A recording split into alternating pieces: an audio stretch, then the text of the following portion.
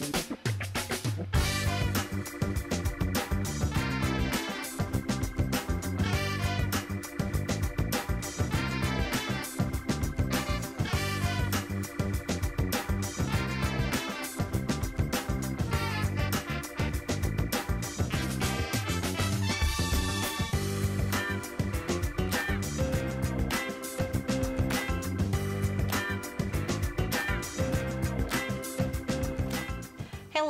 welcome to Table Talk. I'm your host, Karen Wilson, and I want to welcome you to the show. I have a very special guest today. He is the founder of BEDS Teen Outreach Center, Mr. John St. Clair.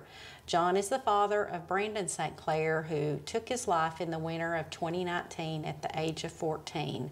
So we've got a very powerful story to tell about Brandon and some great resources to share if you know someone or you have a teen that's going through struggles right now. Welcome to the show, John. Thank you very much. Yeah, so we've been talking for a while trying to, you know, coordinate this, and, and I think it's a good time for us, and it's always a good time to talk about issues going on with teens and how we help teens, young adults, younger children, older adults, it doesn't matter. Everybody has struggles in life. Very much. So tell us about um, just about Brandon himself. Let's bring him to the forefront. That's a lot, but he was a very interesting young man. I mean, I've met a lot of kids, you know, because I just like kids. So um, he was very interesting. Um, from a young age, he loved to take things apart, build things. He always was building robotic hands out of cardboard and stuff. Uh, he started getting into uh, video games and computers just because I am. So, you know, naturally you take on the role of a, of a parent, you know. So um, he started getting into computers very heavily and taking things apart and learning how things worked. Um, and then as soon as he got to about middle school, he really started loving his friends. He loved to have friends. Mm-hmm. You know, very early on, we were informed by the schools, and obviously we knew it at home too. He loved making people laugh. Mm-hmm. Very like, social. Yes, very social. He always wanted to joke, and and and he always would bring home new jokes. You know, trying to make us laugh, like little kid jokes. You know, and and he was always wanting to make everybody happy around him and laugh and. Um, he was always playing jokes on us at home and hiding and, and, trying to jump out and scare us and set up traps for his sister in the hallway, things like that. Um, and then in middle school, uh, we very much started noticing that, that he started becoming more of a protectory kind of guy, you know, mm-hmm. like um, telling us about he was talking to a friend and, and, you know, they're not having a great time at home or, or tell us about something that Mary was sad. You know, my, mm-hmm. my daughter was sad, so he'd let us know about that before she would tell us. We started noticing that about him. Um, uh, he didn't so have he was a, a thoughtful kid. He was very, very thoughtful, deep. very deep, very thoughtful. Always wanted to know everything of what was going on, why. He had a lot of whys. Mm-hmm. I mean, I, all kids do, but his was more of like, why can't I drive now? Why can't I walk all the way to school from five miles away? You know, why can't I go into Walmart by myself at the age of 10 and buy whatever I want, you know, with your money? Mm-hmm. Yeah. So he really wanted to be independent. And toward the end of his life, that was some of the last things that he had told us was, you know, um, I feel like an adult trapped in a kid's body. Um, I don't know why I can't just do what I want to do. Um, we started learning that. He, he's, if he would have gave himself some more time, I think he would have we and he would have realized he was what most people call like an old soul. Mm-hmm. You know, he started getting to the point where he was really getting deep with us, with mm-hmm. himself.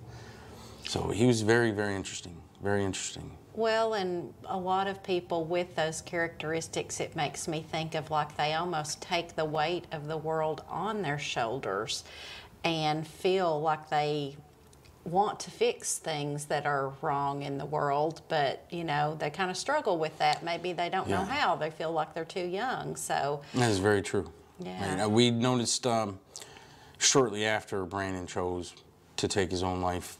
Um, we were told that by several of his friends, um, all the way back into sixth grade, that he had talked a young girl out of suicide. Mm-hmm. Uh, he had stopped two of his friends from self-harming. Um, and then we found out after his funeral and, you know, through friends, he did all kinds of little things for his friends.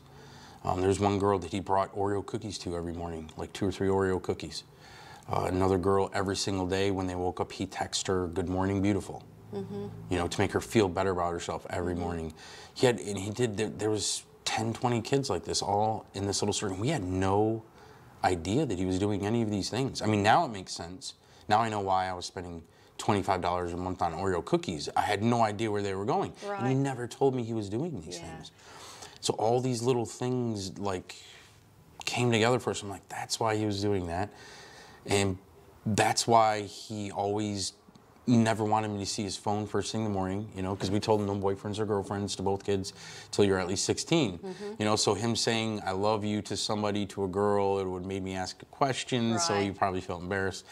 So he never wanted me to see his phone in the morning. But all these things make sense. And he never came to us with any of these things because of the way things are today. You just don't Well, and that's a very, what I would think of as a private time in a, a, a young adult's life. They kind of like keep everything so protected and internalized um, that they don't tend to tell you about everything. And that I think is what makes it so difficult to know what's going through their mind is they're internalizing. They might tell a friend, but they're not going to tell mom and dad very much unless it's just really rough.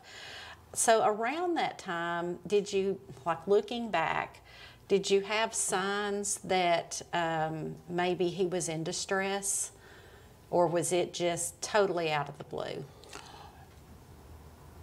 Just Well, it's back. Mm-hmm. it's hard to say that because now we know, but then it was absolutely not an option. It was it was so far out of our minds that it wasn't in our minds. Like there was no unhappiness between us. Um, the only things that were going on in Brandon's life that we knew about. You know, he kept a lot to himself, that, and we don't know why he kept things to himself like that. We were very a very talkative family. We had like family meetings mostly because of me. I would say family meeting. You know, we'd have family meetings about everything: where we're going out to eat that weekend, what we were doing, where we're going on vacation. I built our basement. We moved to a new house right down from the high school. Um, the basement is completely designed around the kids. There's karaoke, a pool table, hundreds of pictures all over the wall of famous singers, and they loved having their friends over. And then we had Halloween parties for all their friends, and Christmas parties, and birthday parties. And there was no indications, there was no signs at that time that we knew of. Right. Because we were not educated at all. We didn't know we had to be educated in such things. right. The only things that were near there uh, was a couple of bullying incidences that we knew of, you know. But Brandon thought he had his bullies under control by the time he hit high school. Um, his last year of, of middle school, uh, he had a bully, but they confronted each other, and toward the end of the year, he said he thinks that they were starting to possibly to become friends. Yeah. Uh, going into ninth grade, we warned him and told him about well, bullying's a lot different in high school. You know, um, he didn't have to deal with a lot of the bus ride because his sister started driving, so he became a, a car rider. Um, so he said that was a lot, lot easier instead of having to sit on the bus. But he said there was still a few bullying incidences, but he never complained about them. You know, and we made it a habit since sixth grade with both kids. You know, or fifth grade. Every time they came home, anything happened today? Everything okay? Any problems with any other kids? Any problem with teachers? And then the same normal parent thing, you know, how much homework? Did you get it all done today? This and that. We, it was such a habit that it was just immediate. As soon as they walked in the door, everything cool? Any problems? Mm-hmm. And he always said no. He said yes once or twice. Right. And I was like, really? What happened? He's like, oh, this, this kid pushed me, or this kid said this, or.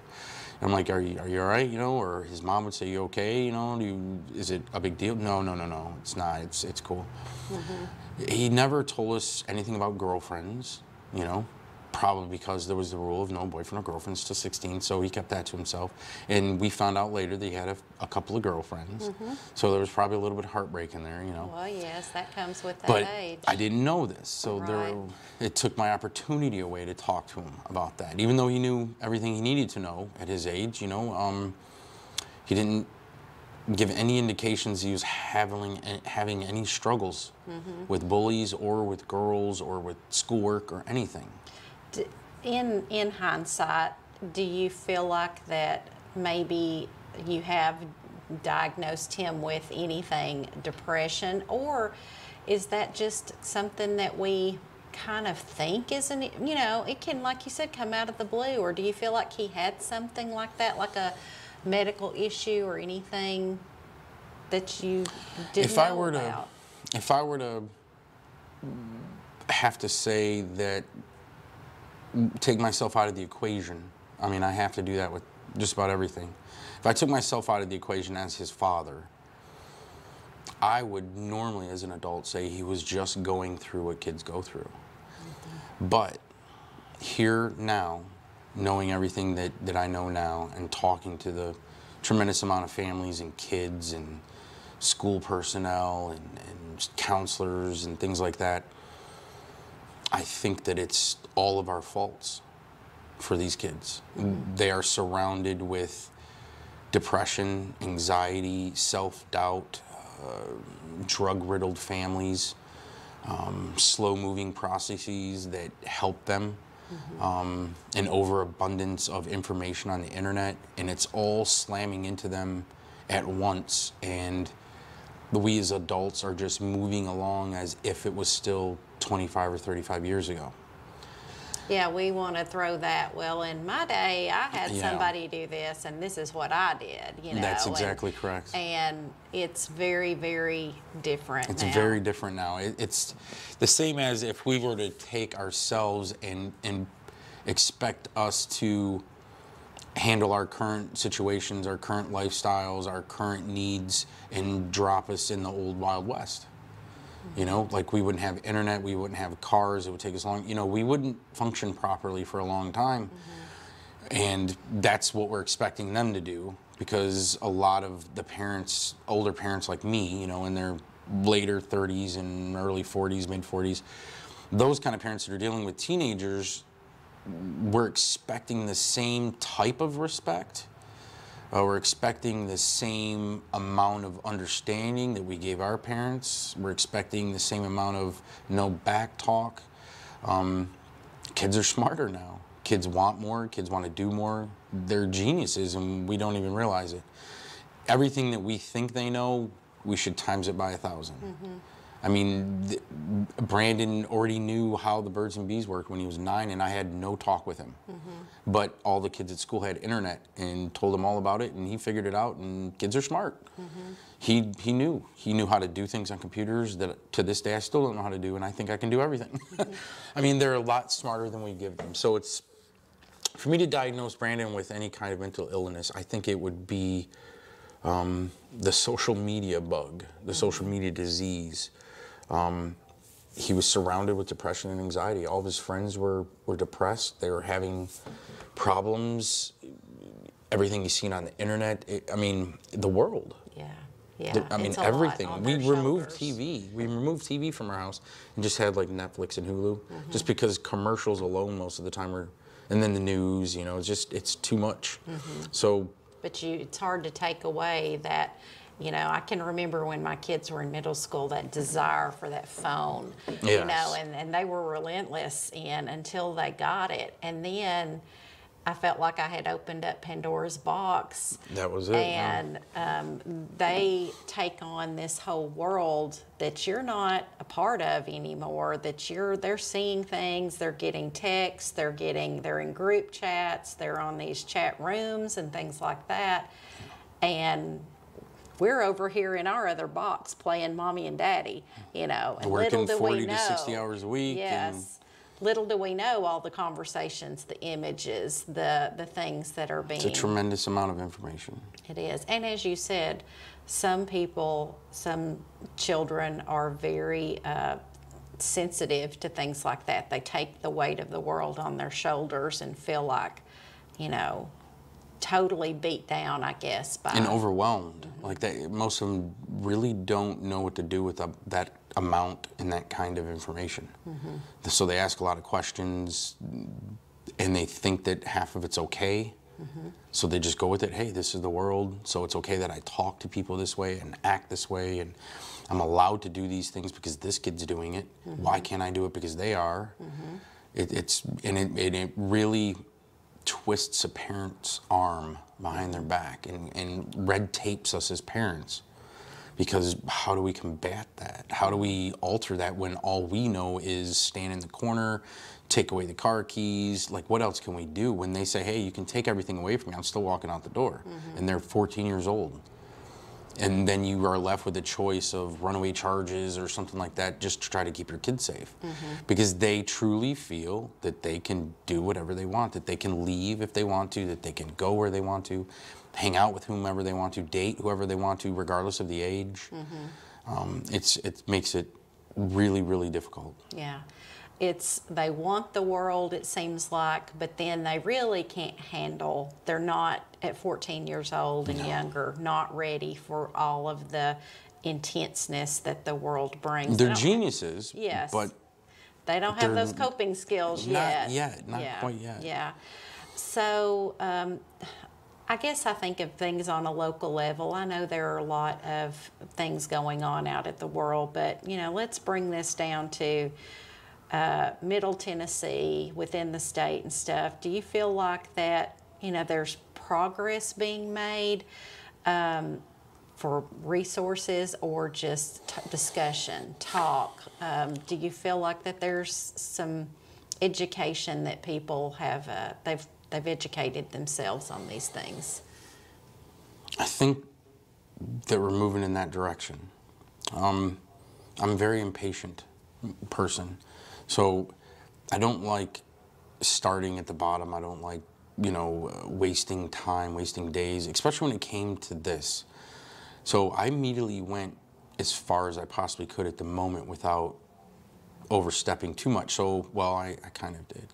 So I went straight to Congress, like right away in the beginning, straight to Congressman DesJarlais, straight to the White House, straight to Governor Bill Lee. Um, I went straight to everything. I wanted to find out how much funding was being put forth for free mental health care uh, in the school systems, public, private. I went every direction all at the same time, and it's 0 there's nothing in the state of Tennessee or 37 other states that directly help mental health children to this day. Amazing. Now, there is mental health available to them. You know, basic counselors in schools. Um, there's paid counselors, psycholo- psychiatrists. You can go to these places. Then there's, you know, Child Advocacy Center and the, the health department. Um, but I'm not, I don't like, um, it's very difficult to word it right without hurting feelings, but I don't, I don't think any of them cater whatsoever to children, even the ones meant to cater to children. And maybe is it reactionary instead of proactive?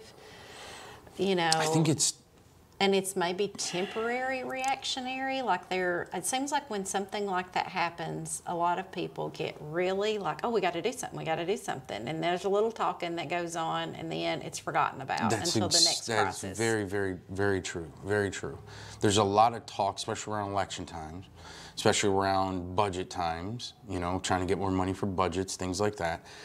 But my my biggest find, my biggest wow moment through all this was how comfortable everybody is in their positions and how rudimentary it seems that they act toward their jobs.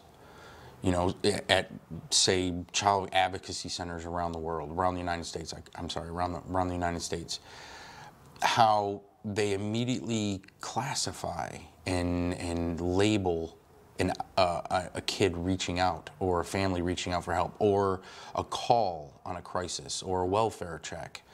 Um, it's how quickly it's oh we've been there before they're fine and so they take their time and they get there next week or the week after mm-hmm. Um, it's it's a lot of that and a lot of red tape, especially for the school systems. There's a tremendous amount of red tape. Can't always blame the school, you know, because they've got a lot of red tape. Are they overloaded? All of them are overloaded. Every single one of them are overloaded. Uh, I've probably filed, I think, about 275 cases, 265 cases of through DHS, DCS, DHS. I never say it right, and the Child Advocacy Center, like directly with the families, not with the resources, but with the families, just in case they needed more help. So I could try to help get them a free counselor or something like that. And I mean, almost every single one of them I mean, it, it, they wouldn't see their worker for weeks and weeks, three weeks, six weeks, eight weeks. They would call every other day. The worker wouldn't respond for weeks at a time. Uh, and the, the kid would be in serious crisis to the point where the moms and dads would drive them to the hospital or take them themselves and have to sell their car in order to pay for the $4,000 psychiatric stay for four weeks. Yeah. Um, and, And it's all because of the stigma that mental health isn't real. That, that there is no such thing as child depression or anxiety and and and unfortunately, this is a huge unfortunately, religiously, a lot of families here in the Bible Belt, I don't know if it's because of the religion or because they were raised so deeply rooted in a religion, but they they just literally dismiss the child's depression or anxiety. With the child sitting there crying, saying, I, I'm I'm feeling suicidal, mm-hmm. I'm having panic attacks at school. Mm-hmm. And, and they literally tell them we're going to church. We'll pray about it. Mm-hmm. And then that kid is in the hospital two weeks later and they cut the wrists or took in pills or Yeah, because sometimes, I mean, that's great, uh, you know, not dismissing anything like that because that is an awesome place for your children. But sometimes things are more immediate than that, and there can be uh, medical and chemical things going on Yeah, that needs an immediate response instead of praying your way through it. And I do not mean that disrespectfully because I'm neither do i a i'm faith-based person I'm- myself. I love religion, and no matter which religion it is, but a kid reaching out is a kid reaching out. Mm-hmm.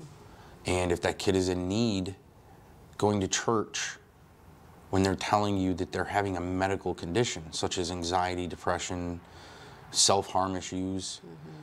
I don't think going to church will immediately solve that. Mm-hmm. Uh, getting closer with your child. I mean, I mean, this is now. 150 years ago, it was different. Mm-hmm. You know, 40 years ago, the way we were raised, it was different. Mm-hmm. You listened to God. You listened to your pastor. You listened to your mother and father. Their words were the end all be all. That's what's going on. It was different when I was young. Let's say my mom, if I went to her and told her I'm really depressed, my mom said, "Go outside and play. You'll feel You need better. some sunshine." You need some sunshine. Here's some tea or some Kool-Aid, some Yeah, lemonade, have a cookie. and it would make me feel better because that's that's great. Kids want to go outside and play, but kids don't want that these, now. Mm-hmm. They want a new video game. They want to be with their friends. They want their phone. They want to be able to text at three o'clock in the morning, Mm-hmm. regardless if they're allowed to or not. They'll they'll still want to do it. They want to go to somebody's house that you don't know and hang out with 20 other kids with the mom who's never home. So you have no idea what's going on there. That's what they want now. And if you don't give it to them, they become depressed. Mm-hmm. Yeah. like just like that. If, and then they have to tell their friends why they're not coming. Mm-hmm. And then they're going to be looked down on at school the next day. And like if you follow the route, if you follow their what they've went through that week, and here it is Friday, and they're wanting to go to their friend's house, you have no idea what that kid's went through throughout that week. All you know is that you've been at work and you've came home tired every day. You've put food on the table every day, and your kid went to school every day. You mm-hmm. guys talk at night, everything seems fine, but you have no idea how many breakups that kid went through that week, how many of their friends' breakups went through that week. And just because you're an adult and that's not important to you does not mean that that is the entire world to your child. And their whole world just ended at the end of the week because their boyfriend or girlfriend broke up with them mm-hmm. and their friends don't want to talk to them because they didn't come over to a party on Thursday night. Right, they're And not s- cool now. and they're not cool now, or they didn't get the shoes they needed, or their mm-hmm. phone broke and you can't afford to get them a new one right away, so mm-hmm. all their friends are not talking to them. Or they felt talked down to. Or talk, yeah, or they were being something. bullied at school, or I mean, there's a million things that are happening to these kids in one day. Mm-hmm.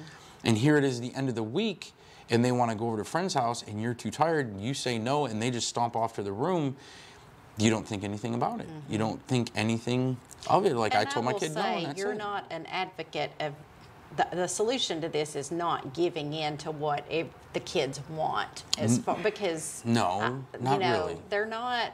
It's more of I'm an advocate of figure out a better way, mm-hmm. a new way to communicate between the adults and the young people. Mm-hmm. Figure out a different way to where they understand you and you understand them better. Mm-hmm. I think we've lost like this step between the two, um, especially here in the South. You know, it, my word is law. Mm-hmm. In my house, this is what's happening. And we don't talk about certain things. Yeah, we don't talk about this. If you're going to cry, cry in your room. If you're going to whine, go throw a fit in your room.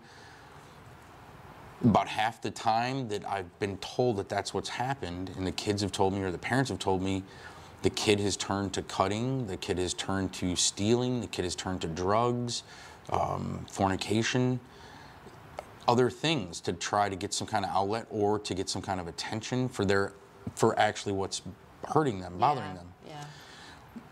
If I think that if we want to succeed, succeed parents need to be more open to their kids. Mm-hmm. They need to tell them why they're saying no in a normal manner as you and I'm speaking now, not in a because I said so manner. Right. They need to treat these people because they're not kids like they used to be. Mm-hmm. They're not kids like we were. Mm-hmm. They are young people trapped in adult, tra- or I'm sorry, young adults trapped in kids' bodies, like my son said. Yeah. And some of my son's words make so much sense now. You know, um, and all these kids that I've been talking to, almost every one of them, that's what I felt from them. Exactly what my son said. An adult trapped in a kid's body. I'd like to thank John for coming today and sharing his story with us. We've got a lot of education to cover, so we're going to break this down into two episodes. Uh, today, we've talked about Brandon and some of the things that he went through um, and some signs um, if, if a teen is in distress. Next week, we're going to come back and talk more about the BEDS program and the outreach center that John and his wife Laura have established. So, thank you to our audience for joining us today. We welcome you to come back again next week for more Table Talk.